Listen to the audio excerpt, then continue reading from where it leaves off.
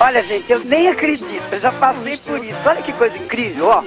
Eram as primeiras, né? Pois é, mas agora nós vamos levar a nossa imagem em digital através desta maravilha, aqui deste ambiente esplêndido que é o Centro de Televisão da Anhanguera, que a partir do dia 2 de março, ao vivo, estaremos aqui a partir das nove e meia da noite, diretamente do Centro de Televisão da Anhanguera. Tô morrendo de saudade, tá?